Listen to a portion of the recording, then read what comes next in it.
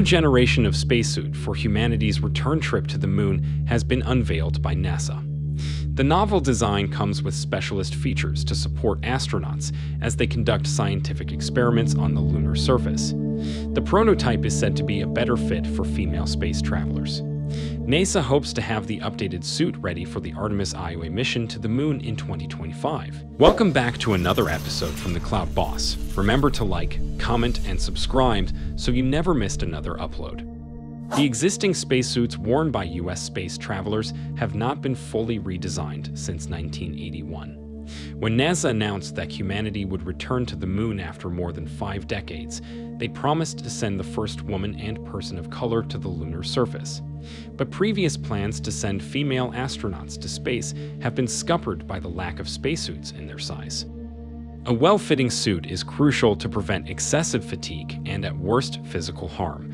In 2019, NASA had planned to send an entirely female team of astronauts to complete a spacewalk from the International Space Station.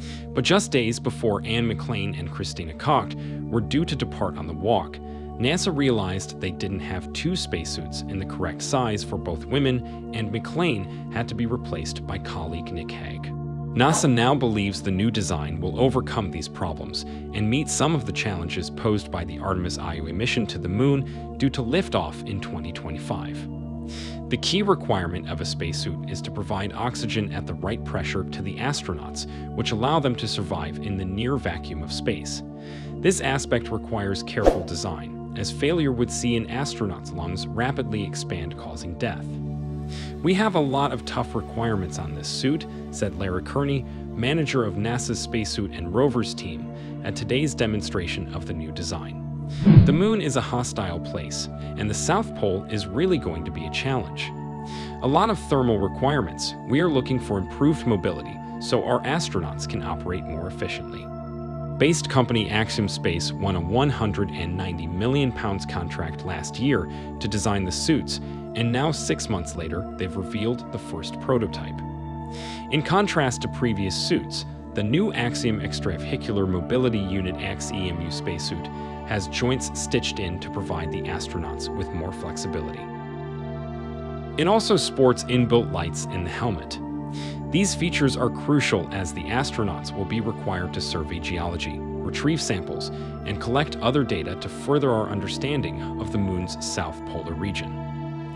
The helmet also comes with an HD video camera to allow videos from the moon to be watched in high definition back on Earth. The new space boots should be able to withstand the freezing temperatures that are found in the permanently shadowed regions of the lunar surface. The suits will be made using advanced manufacturing methods, including 3D printers and laser cutters to ensure exact measurements. The prototype is part of a $1 bin investment by NASA to get two flight-ready spacesuits in time for the moon mission.